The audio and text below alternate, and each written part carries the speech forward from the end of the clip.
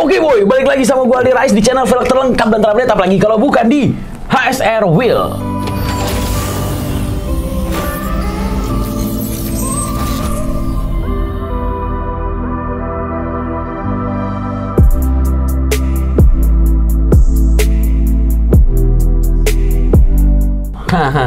nah, di video kali ini gue pengen notif nongkrong otomotif bareng sama pakarnya di samping gue udah di samping gue ini udah ada Om Yanto. Apa kabar Om?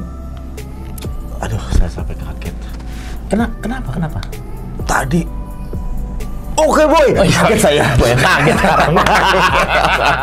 Nggak, kita harus memberikan apa namanya eh, semangat gitu kan. Oke, Euforia. Jadi ketika orang nonton tuh, wah Wah iya. semangat banget. Gregetnya ada boy. ya. Iya. Oke. Walaupun lagi patah hati. Iya.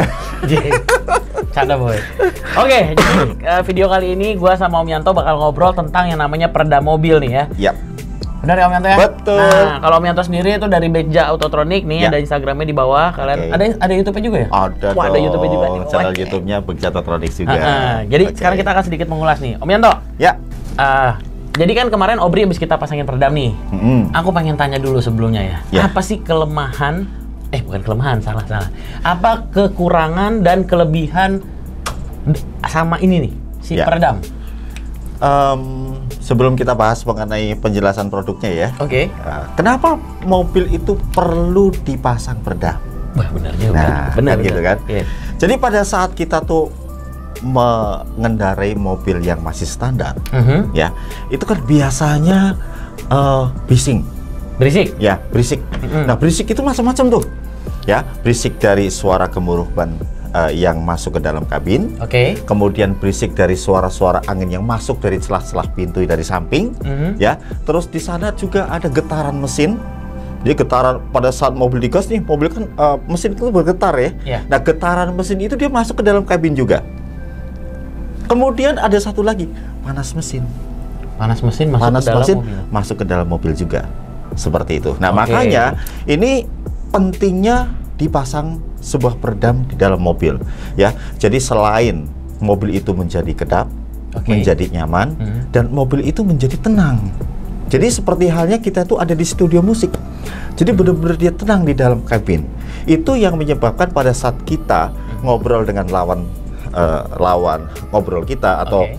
mungkin dengan teman, relasi bisnis apa segala macam. Ah, ya salah satunya Selingkuhan? jangan. ya namanya Ya? kan manusia. Ya, betul. Ya mungkin kalau situ masih muda-muda masih oke lah. Ah, aduh. ya. Eh, gini Om, soalnya kalau Ya. kita mau selingkuh itu kita harus punya pacar minimal. Oh, gitu. Kalau belum punya pacar nggak bisa dibilang selingkuh. Oke, pacarnya mobil aja kalau begitu. Iya, ya. Om. pacar mobil nggak nyakitin. Nggak Oke. nyakitin ya. Berarti Oke. apa Om? Kelebihan dan kekurangannya menggunakan peredam. Ya, itu tadi yang saya Itu bilang. tadi kan kelebihannya tuh. Iya, kelebihan. Ada nggak sih kekurangannya? Kekurangannya jadi nggak enak mobil itu. Oh jadi nggak enak. Nggak enak. Bener. Jadi pada saat saya memasang per sebuah peredam di mobil, kemudian mobil jenis yang sama ya, Ha-ha. kemudian masuk ke mobil yang belum dipasang peredam, ah itu baru berasa banget, kok nggak enak ya? Eh, ini mah kelebihan juga. Bener. Kekurangannya nggak enak itu mobil. Yang belum pasang. Ya belum pasang. Yang udah pasang? Yang udah pasang jadi makin enak. Oh, jadi makin enak. Gitu, bener. Dan itu bisa langsung dirasakan sama kita sendiri. Oke. gitu. Jadi bandingkan misalnya Mas Aldi mobilnya Mm-mm. Brio, Oke. Brio yang sebelum dipasangin peredam dan Mm-mm. sesudah dipasangin peredam, saya malah justru akan balik nanya, kemarin sebelum dipasangin peredam mobil itu enak apa enggak?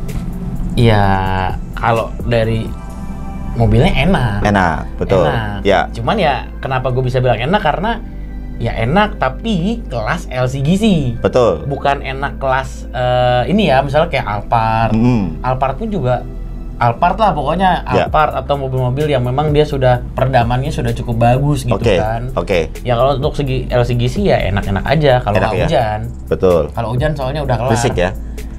Ya gitu dah. Nah, ini salah satunya nih, Mas Aldi karena dia belum pernah merasakan mobilnya dipasang peredam. Mm-mm. gitu. Kalau sudah pernah merasakan mobil dipasang peredam yang benar, Mm-mm. itu pasti bisa bilang, kok mobil ini nggak enak ya? Sebenarnya pernah om, tapi Oh, mungkin pernah. itu dia tadi. Ya, karena gitu. masangnya nggak enak. Nah, Karena aku kan memang basicnya nggak ngerti kan. betul. Makanya kayak tadi kan pas kita mau bikin aja, nih bingung nih boy. Ini Hmm, ini contoh bahan yang mungkin nanti kita akan bahas. Ya. Ini aja ada empat lembar yang berbeda. Ya. Gue nggak tahu nih, ini apa, ini apa, ini apa. Ya. Karena peredam yang aku tahu itu Hmm. cuman ini doang nih. Betul. Ini nih om, yang ini, ini boy. Ini yang Hmm. peredam yang aku tahu dan aku pernah pasang. Ya, Ini doang. Ini Ya. bawah-bawahnya. nggak tahu ya.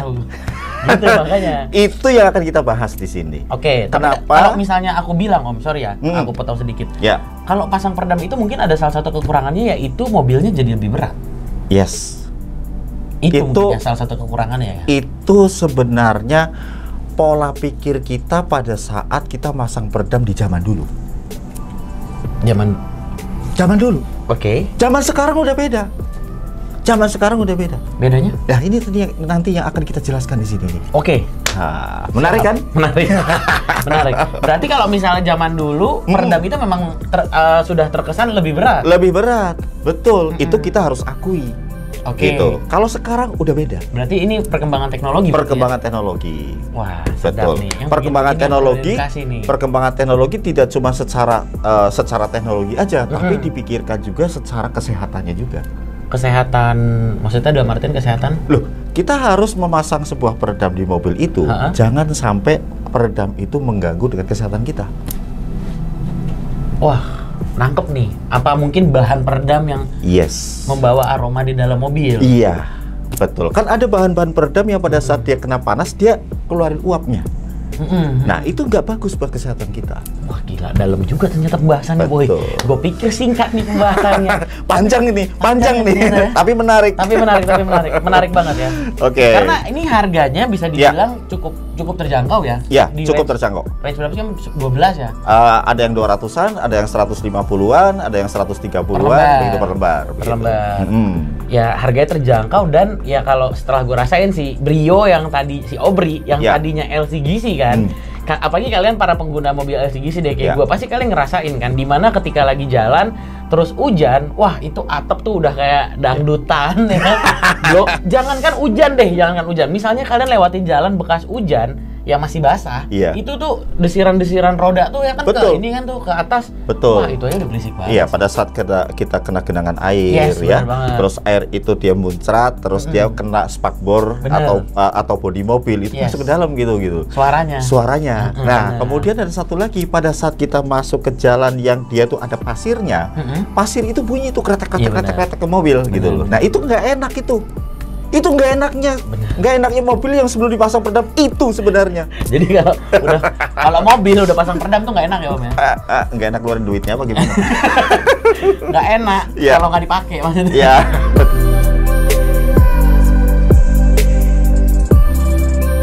Ya udah om, kalau gitu aku sekarang pengen langsung coba dong om, tolong kasih penjelasan Ya. nih peredam-peredam apa aja nih yang udah ada di meja kita ini. Oke. Jadi begini, sebelum kita membahas ini, kita harus eh, kita harus jeli. Kita harus jeli di dalam kita mau memasang peredam. Oke. Kita harus perhatikan peredam itu fungsinya buat apa. Nah itu ya. dia. Nah, fungsinya buat apa? Kemudian dia manfaatnya apa? Ya, kemudian dia aman buat kesehatan apa tidak? Oke. Kan seperti itu. Nah, Ya. salah satunya eh, salah satu contoh adalah merek yang ini. Ini Ya. noise kill. Ya, oke katakan noise kill ya. Memang Iya. ini noise kill. Nih ya, nih. Ah, ini noise kill. ini tapi noise kill juga. Terus Ya. bedanya ini apa namanya? Nah, ini. Istilahnya nama nama nama apa sih nama gaulnya gitu atau apa mungkin ada gitu kan? Enggak, noise kill. Noise kill. Jadi gini, peredam yang noise kill ini adalah tipe yang NK03. NK03 ini. nih, NK03. ini. Ya, ini yang paling mahal. Oke. Ini yang paling mahal di jajaran eh, peredam noise kill. Oke. Ya, kenapa dia bisa lebih mahal? Bedanya seperti ini. Ini NK03, bahannya rubber butil, ya. Hmm. Rubber butil itu adalah sejenis karet sintetis yang dia tidak berbau dan tidak beruap pada saat dia kena panas, Mhm. ya. Kemudian dia tuh aman sekali buat kesehatan dan dia mempunyai bobot yang ringan. Oke. Mempunyai bobot yang ringan tapi dia mempunyai densitas yang tinggi. Nah, Untuk dia meredam, bisa emang meredam getaran. Meredam. Oh, getaran. Ya, meredam getaran yang tinggi. Nah, jadi ini rubber butil ini dia meredam getarannya. Kemudian dia ada aluminiumnya. Nah, aluminium yang ini, yang di tengah ini, ini untuk meredam panasnya. Dia ada berapa lapis gitu ya? Ya. Mungkin cuma satu doang gue. tapi Betul. ada berapa lapis? Ini Betul. tadi yang rubber itu yang paling bawah berarti. Paling ya? bawah. Ha-ha. Oke. Kemudian ada aluminiumnya. Ada aluminiumnya buat meredam panas. Untuk meredam panas. Mm, terus yang lapisan terakhir Mm-mm, yang ini. itu ada foamnya untuk meredam getaran dan panas menjadi lebih maksimal. Oh, berarti ini kalau ini cuma untuk panas eh untuk eh, getaran, Heeh. ini untuk panas Ya. yang ini ibaratnya finishingnya ini Yes, mem- apa memaksimalkan kinerja dari kedua bahan sebelumnya berarti. iya betul. NK03 boy. NK03. Jadi ini adalah peredam yang fungsinya meredam Mhm. getaran dan panas ya. Oke. Jadi ini yang paling mahal di jajaran noise scale NK03. Berapa ini Om? Kira- Ini estimasi per per lembarnya 200 eh, 200 205 ribu. 205 ribu. 205.000. Kalau untuk satu mobil Brio ini butuh berapa nih Om? Kalau untuk mobil Brio itu untuk lantainya Mhm. ya eh, biasanya begini. Ini ini sebelum sampai ke sana ya. Oh, Jadi masih- kita masih kita bahas ini dulu. Kita bahas ini Ya, dulu kita bahas ini dulu. Sabar, nanti sabar. baru baru ke Brio nanti habis berapa lembar. Si, si Ilham itu kalau sabar dia. Kamu tuh sabar dong, ikutin alurnya dulu. Kebiasaan dia. Oke. Oke, Ini ini, NK03. NK03. Oke. Kemudian di sini ada NK60. Coba kita Ya, kita taruh paling atas. Oke. ini aja nanggung sekalian. Ya. Set. Nah, Nah, di kelas yang nomor 2 itu ada bukan nomor 2 sih ya. Mm-mm. Ini ini tipe yang kedua itu ada NK60. Nah, NK63, NK60 NK60. ya, NK60 itu dia sama, dia bahannya rubber butil juga. Ya, coba beda warna aja. Ini Warna putih. warna putih. Heeh. Ya, kemudian dia aluminiumnya dia lebih tebal. oh aluminium yang lapisan tadi ini ya? Ya, ini Oke. aluminiumnya lebih tebal. Heeh. Tapi nggak ada foamnya. Kalau tadi kan ada foamnya kan? Iya. Kalau yang ini nggak ada foamnya. Berarti lebih murah ini. Lebih murah. Ini per lembarnya 155.000. Kalau ini menurutku kalau Hmm. dilihat dari cerita Om tadi, Hmm. ini mungkin lebih untuk menahan panas ya. Ma- tidak tidak juga. Dia me- meredam getaran, Mhm. meredam panas lebih maksimal juga yang ini. Oke. Gitu karena alumun- aluminiumnya lebih tebal. Kalau Ya. di sana itu kan dia ada foamnya lagi. Mhm. Gitu. Yang ini dia dipertebal dengan aluminiumnya. Oke. Gitu. Nah perbedaannya gitu Om. Kenapa nggak pakai yang tadi aja? Nah, perbedaan itu harus disesuaikan dengan budget yang akan kita keluarkan. Oh. Bener boy. Ya kan? Modifikasi Yang ini- itu juga Betul. tergantung budget bener. Tergantung budget. Mhm. Yang ini 155.000, Mhm. yang ini 205.000. Tapi fungsinya sama. Fungsinya sama. Oke. gitu. Paham. Oke. Nah, itu nanti akan kita bahas lebih lanjut lagi. Siap. Kemudian yang ketiga, Mhm. itu ada NK 48. NK48. Ya. NK48 itu sama juga. Ada rubber. Rubber butil Sama kemudian aluminium. aluminium. Tapi Cuma lebih ini aluminium lebih tipis. Gitu. Fungsinya apa? Fungsinya sama. Jadi tiga item peredam ini, Mhm. tiga tipe peredam ini sebenarnya fungsinya sama, cuman beda bahannya aja Untuk meredam getaran dan, dan, meredam panas. panas. Betul. Cuman beda di Harga. harga, Benar. budget. Betul. Kita mau pilih yang mana? Benar. Kan gitu kan? Mau yang NK48 juga boleh, NK60 boleh, NK03 NK03 juga boleh. Nah, buat mobil-mobil yang cc-nya gede, Mhm. yang cc-nya besar, pakai yang ini Yang paling mahal. paling mahal. Kenapa Om? Nah, kalau Karena cc gede, Betul. mesinnya lebih. pasti getarannya lebih kuat. Getarannya lebih kuat, tingkat Iya. panasnya lebih kuat. Berarti kalau kayak Brio Brio 1200 mau pakai yang ini aja sebenarnya Cukup, Brio, Avanza ini cukup sebetulnya. Avanza pun cukup. Cukup. Cukup Oh. sekali. Kalau pengen lebih bagus lagi pakai yang ini. Yang kuning. Iya. Kalau pengennya lebih bagus lagi pakai yang ini. 03. Iya. Oke. Gitu. Oh, ini harganya kan tadi 205, ini Hmm. 155. Yang Iya. ini Om? Yang ini harganya 135.000 aja. Oh, lebih murah. Lebih murah. Gitu. Ya. Oke. Ada satu hal lagi. Pada saat kita ya, pada saat ada satu hal lagi. Pada saat kita meredam mobil, Oke. ya, itu juga harus ditambahkan lagi dengan satu peredam lagi yang untuk meredam kebisingan suara dan pantulan suara. Pan- Oke, pantulan suara. Paham. Yes. Jadi pada saat kita pasang peredam cuma ini doang nih, yang diredam itu cuma getaran apa panas saja. Tapi deruk suara bahan kebisingan kebisingan kebisingan dari dari luar apa segala macamnya pantulan-pantulan suara itu belum diredam. Berarti belum meredam dong. Belum meredam semuanya. Makanya di dalam meredam mobil itu harus ada empat fungsi. Meredam getaran, Mhm. meredam panas, meredam kebisingan suara dan pantulan suara. Supaya apa? Supaya cabin menjadi lebih tenang. Ibaratnya Gitu. kalau kita bawa baby bisa tidur dalam mobil. Benar. Terus kita ngobrol dengan relasi bisnis kita juga nyaman, nggak berisik, gitu loh. Nah, satu peredam yang bisa meredam kebisingan suara dan pantulan suara itu adalah ini. NK18. NK18. Iya, kayak kasur ya. Keke bandar. oh ini ditempel om? Ditempel. Gitu. Jadi meredam mobil itu harus memakai dua. Yang pertama memakai terserah ya disesuaikan dengan budget. Antara yang tiga ini. Iya betul. Mau yang Hmm. NK03 boleh, 60 boleh, 48 boleh. Habis itu ini wajib. Wajib hukumnya. Ini untuk meredam Kebisingan. kebisingan suara dan pantulan Sama suara itu tadi. suara. Jadi suara ban yang dari belakang ngeberuduk apa segala macam itu nanti kecil sekali. Hampir hampir hilang. Hilang malah aku bilang. Gitu. See. Berarti kalau misalnya ini harga berapa om kalau barang? Ini harganya 100 ribu. Seratus ribu. 100 ribu. Oh paling murah berarti. Paling murah. Kalau misalnya pasanginnya doang boleh nggak? nggak boleh. Oh nggak boleh. Nggak bisa. Getaran sama panas lu juga kan belum. Cuma ini doang. Berarti berarti mobil kamu nggak perfect. Bener sih. Nggak perfect. Berarti itu yang tadi harus diperhatikan tuh boy. Ada empat komponen kalau Ya. kalian mau masang peredam ya. Ya. Tadi eh, empat komponen itu yang pertama harus meredam panas, Betul. meredam getaran, Ya. meredam kebisingan suara Dan dan, pantulan. suara. Ya. Empat komponen Itu itu, dia. baru mobil kalian baru bisa dibilang sudah menggunakan peredam. Ya. Pada saat Kemarin itu aku Nah. nggak belum pasang peredam mungkin. Nah, Mungkin baru- aku kayaknya baru pasang yang model-model kayak gini. betul. Ininya belum pasang. Belum berarti. pasang. Makanya suara masih masuk. ini kuncinya boy sebenarnya boy. wah makasih banyak ini. Ini sangat-sangat mengedukasi. ada satu ada satu hal lagi Apa tuh? ya kan. Eh, kita bisa mengkomben eh, si peredam ini untuk dipasangkan di mobil menjadi lebih bagus lagi ya pertama kita Mm-mm. memasang yang NK03 Mm-mm, yang paling mahal. NK03 ini dipasang buat di lantai Mm-mm. kemudian bagasi Mhm. dinding ban kiri kanan belakang pakai ini semua Oke. udah pakai ini baru pakai yang NK18 Oke. ya jadi semuanya tuh Mm-mm. udah nah pintu pakai yang NK60 Yang tengah-tengah. yang tengah-tengah Heeh. gitu. Kenapa? Ini dia bisa menolak panas lebih maksimal. Sama plafon. Ber- Berarti plafon sama pintu pakai ini. Pakai yang ini. Oke. Yang lantai, bagasi, dinding ban kiri kanan belakang apa segala Mm-hmm. macamnya pakai yang NK03 yang ini. Oke.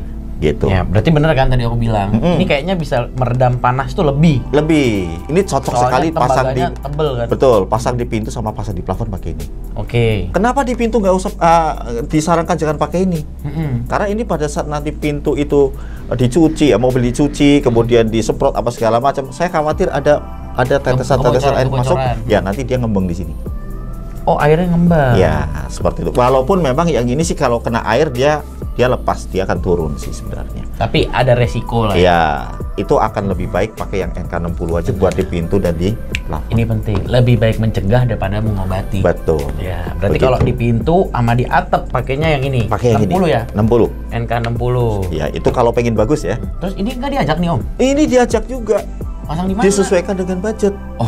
Lantai boleh, pintu boleh, plafon boleh. Oh, berarti kalau misalnya Gitu. budgetnya ibaratnya nih, kalian budgetnya ya udahlah berapa gitu kan. Iya, Maksudnya nggak terlalu repot. Buat bagian bawah, dasar, Mm-mm. di atas ban, Mm-mm. sama bagasi pakai yang ini NK03 nih, Ya. yang mahalnya nih ya, Betul. yang premiumnya. Ya. Buat di pintu sama di atap pakai yang NK60, 60. Betul. Ya. Udah, yang ini nggak usah diajak lah kan Yang ini ada. buat mobil-mobil kayak Brio, mm-mm. Avanza, Honda Jazz, apa segala macam. Cc-nya agak kecil-kecil pakai ini udah enak banget. Sebenarnya pakai ini aja udah enak banget. Udah enak banget. Oke. Tapi wajib harus ada ininya lagi. ada ininya nih. Ya, Siap. seperti itu. Oke lah kalau kayak gitu. Nah ini btw ngomong-ngomong buat Obri kita pasangnya gimana nih? Hmm? Oh. Strateginya strateginya. Jadi gini, Brio itu kan dia suara knalpotnya kencang banget ya. Waduh, wah, wah, wah, wah, kenceng banget itu kemarin saya dengerin berisik banget itu mobil gitu loh. Nah, itu nanti kita akan pasangin peredam yang pakai ini aja. NK60 Mm-mm. ya. Ini buat nahan panas. Di pintu. Ya, di lantai. Lantainya itu cukup dengan yang ini aja nih. Nggak usah pakai yang ini om. Nggak usah pakai yang itu. Yang ini aja lah. Hah? Ini katanya bagus banget. Hah? Pakai yang itu? Iya ini aja. Lebih bagus sih.